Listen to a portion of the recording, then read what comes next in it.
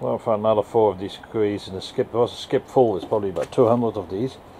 I'm gonna do some load checks and uh, like to see what the current rating is or what current is flowing through these LEDs. So this the Cree LED lamps. There's a full populated one, the other ones are not fully populated. There's a Cree. And I'm gonna do some tests and I got luckily my analog meter here it measures watt hours. Got three decimals so this lowest pointer is uh, 2 watt hours. These things have um, awkward gear way you push these two clips off.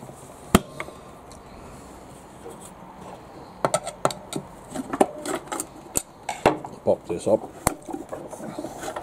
It's obviously designed to hang on a post because when I flip it over here this comes off and hangs loose um, I need to work out where the power goes and connect it up and see if it works. These things have these horrible push connectors, so I've got the wires in here. Active, earth and uh, neutral. Um, not sure what the rating is, I think it's 200 watts, yeah. 200 watts or thereabouts. I'm going to energize and we'll see what happens. I'll put the camera on the power supply just in case that it's failed. I got lots of smells and off and see what happens. Energize device. Oh, it's working. That's good. Let's throw these lamps out. Nothing wrong with them. Nothing wrong with them. It's such a wasteful society. So the lamp is working. I'm happy. I want to do a current measurements. Um, I think I've worked out all these LEDs on series. They're on series, so I'm gonna put an ammeter on there because when I take these chips out I run them at a lot lower current and it's still quite bright. Let's have a look at our meter. It is running I think. Oh yeah, it's flying.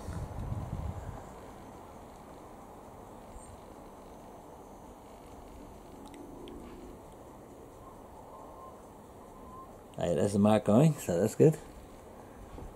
See, it's eating the watts. The watt, watt dial is pointing. I've tested this meter, this meter is less than half a percent out. So as long as I've been turning it on, it was on uh, 5, it's now on 9 point, nearly on the 0, so it's another 5 watt hours we've eaten already. Again, the supplies going into these wires here, they're all uh, series arrangements. They're going in the chips, come out the chips, and then go to the other one. So I'm gonna see how I'm going to connect this up. Oh, there might be two circuits here, and it's two circuits, so it might be half-half. So I'm going to about splice an ammeter in there at some stage, and I'll see what readings we're going to get. There's also a level gauge in these meters, or in these lamps I mean. Photocell is in there with the remote chip at the bottom. Surge diverters, power supply the Philips, uh, I think Philips, yeah. I bet they wouldn't be cheap, these lights, but always society we live in, we'll throw a lot of stuff away. So the way this works, they got two circuits out of this conduit here. They got the red going in. As there one black comes out, which turns into a white, which is looped into this one to the middle string white goes to the red, comes back out, a white another one, comes out of this, goes into red, comes out to black, and that black goes back in. So that's the top circuit. So there's three of these on the first, so that is uh, 60 LEDs, and then the bottom one, I should have put a color in there too, that feeds the far away LEDs. So shorts, top circuit feeds these three the bottom circuit feeds those three LEDs and I'm gonna do a I just want to see the current on these LEDs so I'm gonna put an ammeter in one of these jumpers. Ammeter is connected.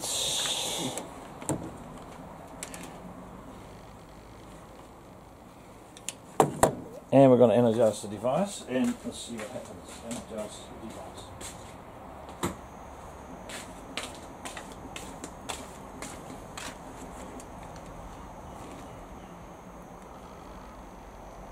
DC, so I need to go on DC range.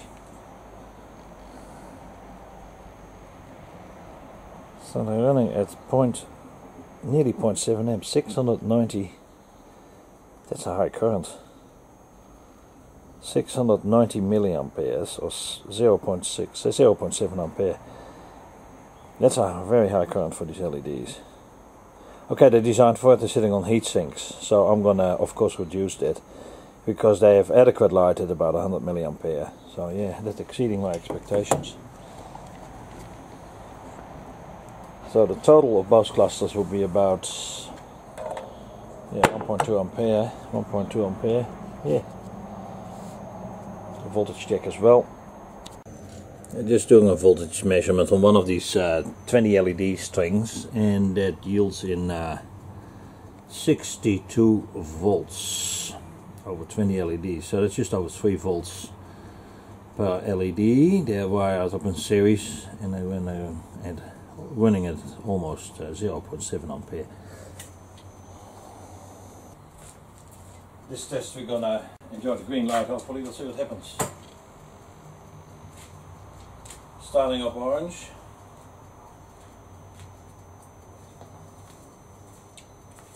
May get the green. It's gonna be good. The LEDs are too demanding at the moment, too bright. Might de decapsulate those. Ah, there we go, the green is coming through.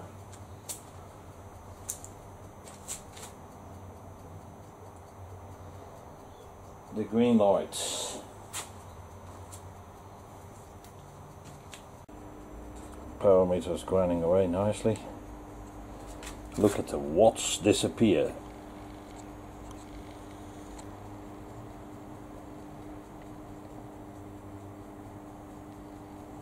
Beautiful.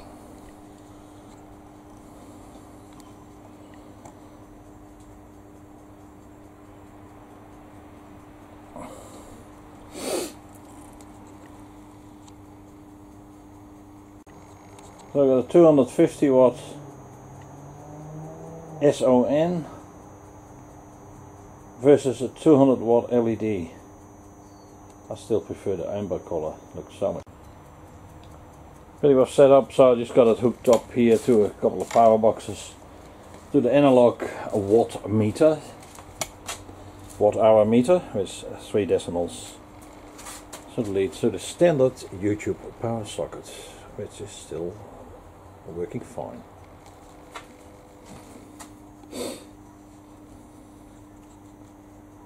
So after running for about 20 minutes it sets about 61 volts per 20 LEDs in series.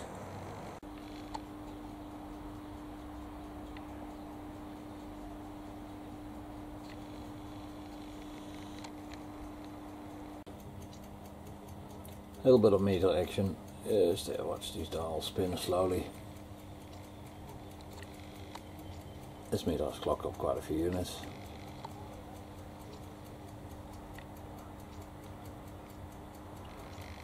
And the SPA02. I've opened one of these up, um, one of these 20 segment LED things, so this, that's on here all these LEDs are in series so roughly just a bit over 3 volts per LED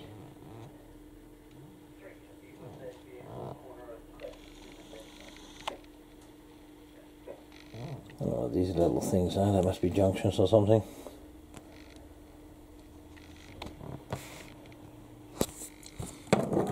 there's aluminium here